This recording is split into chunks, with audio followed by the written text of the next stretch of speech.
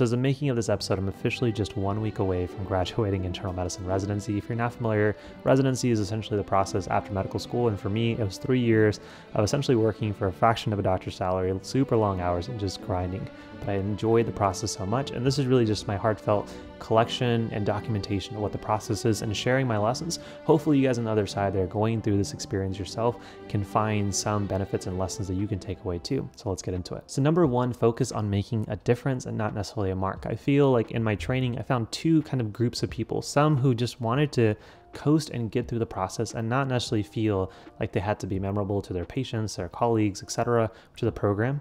And then on the other side, I found people who just feel like they necessarily needed to do the next biggest thing um, during their training and during the process of residency. But one of the biggest things that I've learned over the past three years is like, no, you don't actually have to focus on making a mark where people remember your name. That shouldn't be your goal but you should be focused on making a difference a difference for your patients a difference for the colleagues around you. I feel like it's a personal failure. If there's things that i know i do well for example i know i'm efficient i know i have a calm demeanor and overall i think i have a good patient rapport. Those are skills that i built throughout medical school and residency. But i think it's a personal failure if i don't focus on teaching my interns my medical students and other residents how i do this. I don't necessarily need to make other trainees do things like i do but if i found those important aspects of medicine easier because of things that i've learned things that i've experienced then it's important for me to pass it on. So make sure you're focused on making a difference for your patients, your trainees, your attendings, your co-residents throughout the process because you're going to learn things and behave in certain aspects where other people just wish that they could be like you. There are people that can do procedures just so confidently and so calmly that I wish that I could have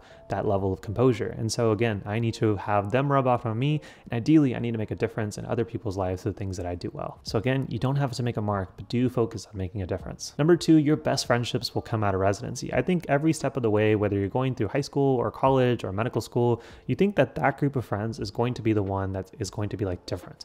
You know, when you go through high school, you're like, this is my crew. And then you get through high school and you rarely talk to your high school classmates.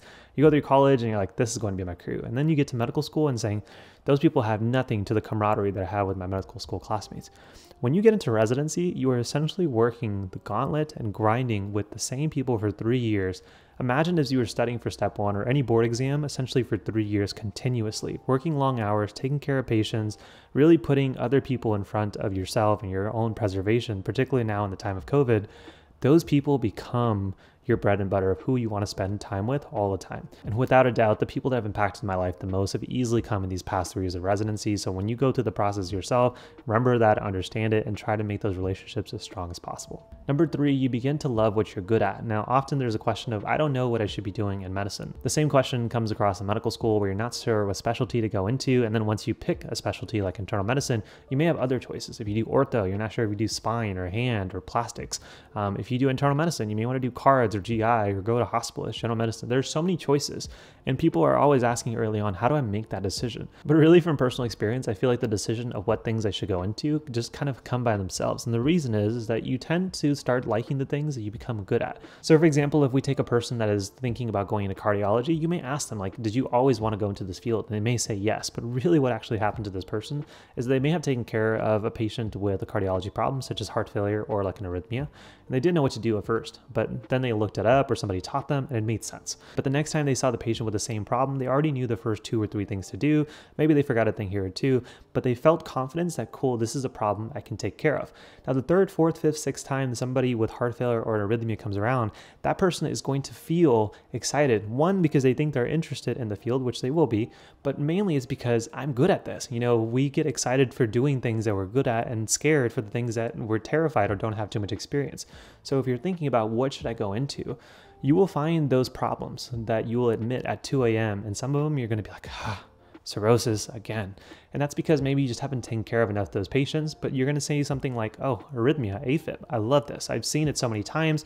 I'm down. It's 2 a.m. admission, but I got it. It's going to be easy. Those are really what help you make decisions on what specialty you go into. So don't get too focused on making a decision of what the right specialty for you is. Often, again, those decisions will find you because you will find that you'll start loving the things that you get good at as more experience and repetition happen. Number four, and this is a lesson that I wish I took to heart a little bit better, but keep forcing yourself to learn, even if it's at a slow rate rate. I'm a big believer, especially after three years of residency, there, there are still topics that I wish I could have mastered.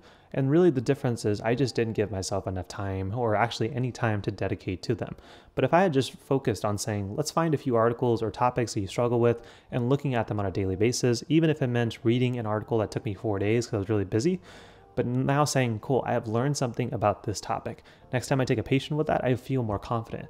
There's a reason that those attendings have been practicing for 10, 15, 20, 30 years are so brilliant and so smart is that some of them have still devoted their lives to learning something on a daily basis. I have some attendings that read 10 articles a day.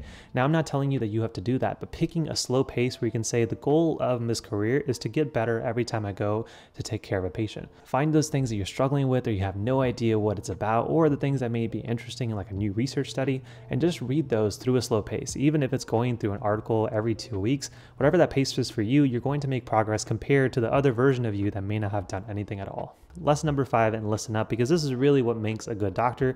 But pattern recognition is the art of being an excellent physician. But when you're going through medical school, you're exposed to so much information that you feel like the smartest doctors are the ones that can retain that the best, where really the best doctors are the ones that can see patterns in the patient's presentations, in their labs, their clinical findings, and their stories, and saying, given all this, this is the likely answer. This is the likely diagnosis.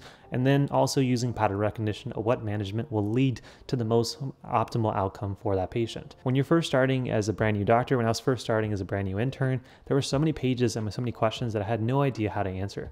But as I got through residency, it wasn't that I became smarter or I was easily memorizing things that I didn't memorize before. I just had a better ability of saying, okay, I see A, B, and C. When I've seen that last 10 times, it tends to be this. And my interns can't pick that up because they just haven't had that level of repetition. But once you have enough repetition, certain problems that a patient may have just feel like clockwork on how to answer and manage them. You're just going to subconsciously know what to do. That's just because you've seen it so many times. But on the flip side, in going back to learning at a slow pace, the best way to improve your pattern recognition and thus your ability of being a great clinician is to identify patterns that you don't know the answers to, or finding questions that you don't even know what patterns to look for. So some of my favorite ways of doing this is reading new articles on clinical cases and understanding like, oh, I missed how these could be related and could ultimately lead to this possible diagnosis, or using free apps like the Human DX app where doctors across the world are sharing interesting patients and then asking you if you can figure out their diagnosis based off the information they give you. But I'll tell you from experience that my memory is not that great, but my ability to do repetition and focus on the lessons from each repetition is pretty strong, and thus I've become a much better doctor starting over the past three years. And lesson number six, that you don't remember the scores, but you definitely remember the people. The nice thing about residency is that there's pretty much no scoring system. Aside from step three, you don't really take any exam that you compare yourself to your peers. The beauty of that is that now you can go through each day, focus on really just two things, trying to be a better doctor and trying to take care of your patients. And the process of doing that is again, by learning, but also being inspired and learning through the people that are around you, your peers, as well as your attendings and your mentors, and finding the aspects of medicine that they're better at than you are, and trying to pick up just a little bit of nugget here and there, and trying to use that in the future, and ideally passing them down down the line.